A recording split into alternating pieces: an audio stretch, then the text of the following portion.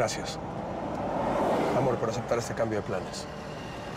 Honestamente no sé de qué es capaz Soraya y me siento mucho más tranquilo regresando. Entonces, ¿tú no quisieras que Mateo viva con nosotros? Santi, a ver, si Mateo se va a vivir con nosotros, el problema real de todo esto sería Soraya. Porque entonces tendría la excusa perfecta para estar ahí metida. Exactamente. Estaría todo el tiempo metida en nuestra vida. Yo no quiero eso. Es decir, Soraya es la mamá de Mateo, tú eres el papá de Mateo y eso jamás va a cambiar. Sí. Sí creo que deben sentarse, hablar, llegar a acuerdos, las visitas, las vacaciones, todos estos temas legales, ¿no? Pero quiero a Soraya lejos de nuestras vidas. Yo, yo entiendo tu punto, ¿eh? y tienes razón incluso. Pero a mí lo que me pasa es que tengo un deseo tan fuerte de estar con él, de convivir con él, de, de- de estar lo que no he estado, de recuperar el tiempo perdido. Y además también me preocupa porque siento que lo estoy dejando con una persona que está desequilibrada mentalmente. ¿Por qué? Ellos han vivido juntos toda la vida, siempre. Además, Soraya está desequilibrada mentalmente en el momento en que tú reapareces en su vida. Es decir, si tú te alejas de ella, a lo mejor ella regresa a la normalidad y pueda continuar con su vida como lo había hecho todos estos años sin ti.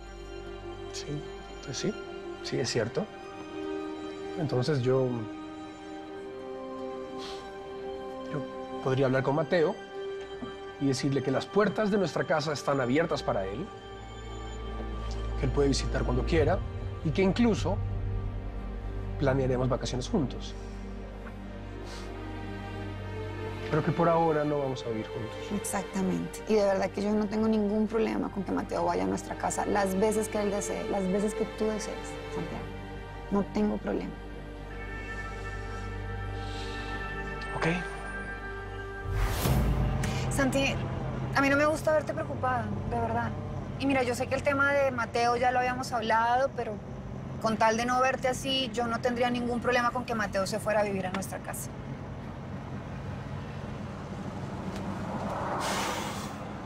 Gracias. Eso significa mucho. Pero también es cierto que estoy seguro de que lo mejor es mantener a Soraya lejos y mantener las dos familias separadas. Que de alguna manera Mateo estando allá me ayude a monitorear los, los pasos de Soraya. Pues como tú quieras.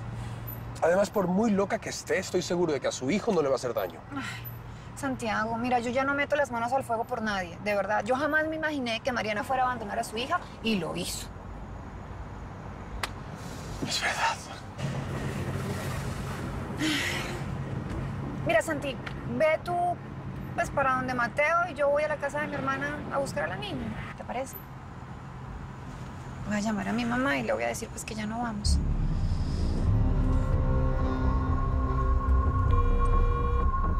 Espere. Vea, ahí está Catalina. Espere. Ay, tenga que. Aló, mija, ¿qué hubo? Hola, mami. ¿Cómo va? ¿Ya viene para acá? No, justamente por eso te estoy llamando. ¿Qué pasó? Es que no puedo ir ya. Me surgió una emergencia con Mariana. Pero todo bien. Mami, mami, escúchame, yo no te quiero preocupar más de lo que ya estás. No, pues entonces no me hubiera dicho nada, Catalina, porque vea cómo me dejó. Ahora sí me quedé preocupada. Lo siento, ma, de verdad lo siento. Yo hubiera querido ir por ustedes, pero no voy a poder ir, discúlpanos. Bueno, mi cielo. Más bien busquen la manera de regresar y cuando estén aquí en Pereira hablamos, ¿te parece? Bueno, nosotros miramos a ver cómo hacemos para salir de aquí. Cuando estemos allá, entonces le avisamos, bueno. Bueno, bueno, sí, señora. Y discúlpame nuevamente. Acá hablamos, un besito. Dios la bendiga, mi amor. Chao. Bueno, chao. ¿Qué pasó? No va a poder venir por nosotros. ¿Por la hija, sí o qué? Mm. La niña ahí le ha dado problemas. Ay, sí. Ya está.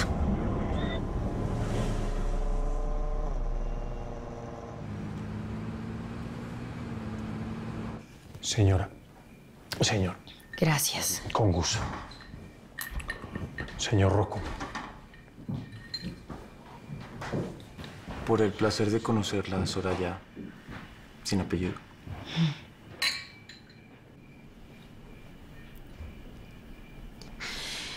Bueno, y usted me dijo que después del trago me iba a decir cuál es el negocio que quiere hacer conmigo.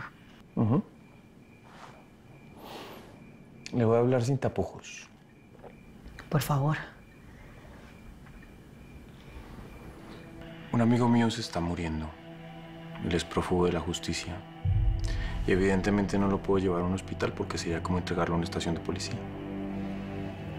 ¿Y usted quiere que ayude a su amigo? Te dije que era muy inteligente, ¿no? Y nunca lo puse en duda. Soraya, un favor así se paga de manera generosa. Me imagino. Pero la plata no va a pagar todos los problemas que se me vienen encima si yo llegaría a hacer algo así. Entiendo. Pero usted puede sacar algo más de esto. ¿Qué? Soraya, el doctor Mendieta te puede ayudar a lograr lo que más deseas. Matar a Catalina Santana.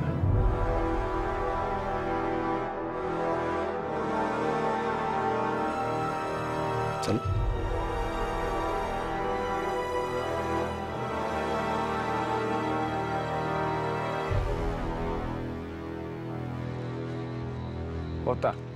Compadrito, ¿Qué pasó? ¿Les pasa algo? ya Catica la Grande viene por nosotros, ¿sí? ¿Ya llega? No. Catalina no va a venir. ¿Qué? ¿Cómo así, doña Hilda? ¿Y, y ahora, ¿Y ahora qué vamos a hacer, compadrito? pues buscar en qué irnos o quedarnos. No, no, no, no, no, no, no, no, no, no, no, no, no, no, no, no, yo no, yo en este pueblo no me quedo ni un segundo más ni por el berraco, no, no, así no, ni dormiendo en la calle me quedo. Jota, ¿usted qué le pasa? Jota, ¡José Luis! no, no, Jota, necesito un momento para pensar. No, es que no, no puede, todos se desaparecen, yo no me puedo desaparecer un momentico para pensar, por favor, ¿sí? A solas, un momentico, no solas. Eso no es normal, Dios mío. Ay, ¿Qué está pasando? Cada vez que, que necesitamos salir de este pueblo algo pasa. Eso no es normal. No, mira Jota cómo está. Jotica, venga.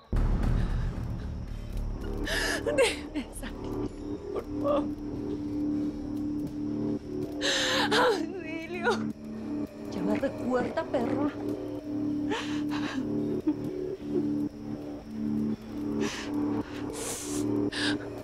Se le olvidó cómo se burlaban de mí usted y sus malditas amigas.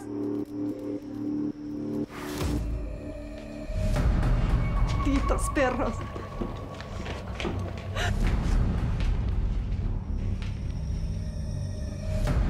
cuando se despierte. Ah, va a tener una gran sorpresa.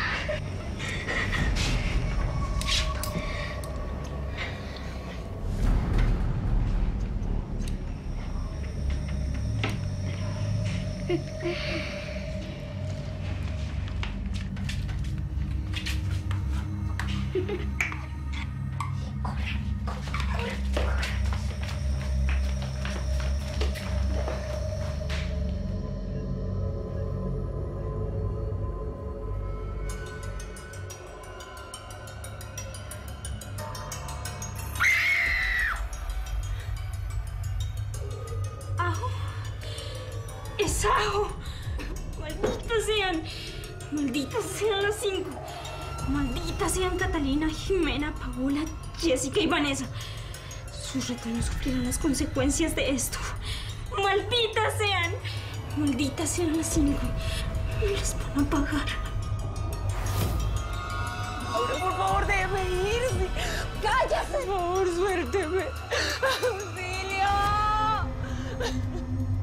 Nos podemos quedar aquí en la calle. Que si yo no estuviera con la niña, otro cuento sería. Bueno, pero es que nadie está diciendo que nos vamos a tener que quedar en la calle. No tiene que ser en la calle, en algún lado. Encontraremos un sitio, pues, porque... Dios mío, no salimos pensé de que aquí. Catalina iba a venir por nosotros. Pero no pudo, no pudo. Entonces, ¿qué hacemos? No, pero es que espere, pero es que mire Jota. Jota, José Luis, venga. No, Jota. Albeiro, Albeiro, por favor, déjelo que se desestrese allá. Es que a mí me pone nerviosa. Pero no se da cuenta cómo está Vanessa. Bueno, ya un momentico. Nos calmamos todos. El patrón. Espera, espérate. Bueno, Aló, patrón. ¿Qué pasó? ¿Cómo que no dieron con esa vieja? Eh, patrón, eh, nosotros pues íbamos... Sin pretextos. Como usted diga, patrón. Ahora lo que quiero es un carro bomba para enviárselo de regalo a Catalina la pequeña. Sí, patrón. Escúchame bien. Si me fallan, van a ser ustedes los que estén adentro de ese carro, ¿me oyes? Sí, patrón. ¿Y para cuándo lo quiere? A la de ya. Lo truenas enfrente de ese vieja cuando mi vieja y yo ya estemos en México. ¿Entendiste? Como mande. ¿Cómo así, mi amor, cuando estemos en México? Mi vida es mejor que estemos lejos para que no nos vinculen con ese pedo. ¡Qué listo eres! ¿Sabes una cosa, Villa? Dime. Me excita cuando te escucho hablar así, empoderado, dando órdenes para cumplir mis caprichos. Gracias por ayudarme a deshacerme de esa estúpida. ¿Sabes algo? Dime. Te mereces una recompensa. Bien jugosa. Ajá.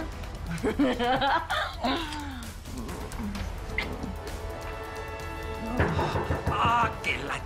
¿Quién? El Titi, mi hermano, suelte eso. ¿Y ti qué quieres? Villa, noticias.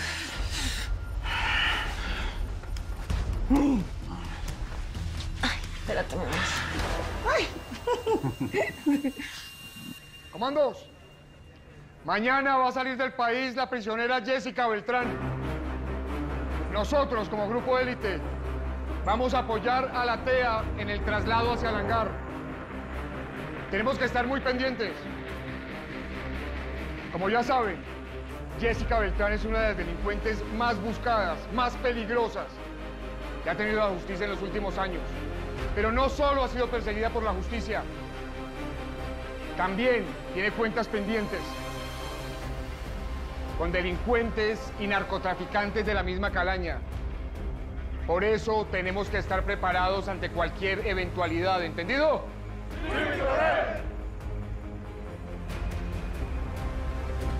Como pueden ver, el traslado de la Diabla es un asunto de alta peligrosidad. ¿Alguna pregunta? Permiso para hablar, mi coronel. Adelante, oficial. ¿Hay amenazas sobre el traslado de la Diabla? No. Inteligencia aún no reporta ninguna amenaza. Pero tenemos que estar muy pendientes. Tanto nosotros como la gente de la TEA tememos que algo pueda suceder. En este momento la Diabla está siendo llevada al lugar donde debe esperar para ser transportada. ¿Otra pregunta? Coronel, ¿en qué lugar va a estar? No lo sé. El operativo está a cargo del jefe de la TEA. Solo él y altos mandos de la TEA conocen el lugar. Espero que quede claro con esto el nivel de confidencialidad que se necesita. ¿Entendido, comandos? Sí, mi coronel. Entonces se llevan a la diabla para el gabacho. ¿Y si se sube en ese avión? Suelta la lengua, Villa. ¿Tú crees? Ay, María. Decía el filósofo colombiano Pablo Escobar Gaviria. Prefiero una tumba en Colombia que una cárcel en Estados Unidos. Villa, yo ya la probé. Y no es fácil, mi hermano. Sí, eso sí. Toca pegarle un pepazo. Y antes de que suba ese avión, hermano. ¿Pero y qué podemos hacer de aquí a mañana? Hacer una emboscada. Darle a ella y darle a algunos agentes de la TEA. No, si van en un convoy de la TEA van armados hasta la madre. Mire, Villa, la cosa es la siguiente, hermano. Yo me encargo de eso. Yo llevo años en este trabajo y sé cómo se hace. Llamamos a la gente de la Comuna 13, la calle 15, y en 24 horas le damos de baja. ¿Qué dicen? Hola, si quieres ver contenido exclusivo de Sin Senos Sí hay Paraíso, suscríbete a nuestro canal de YouTube.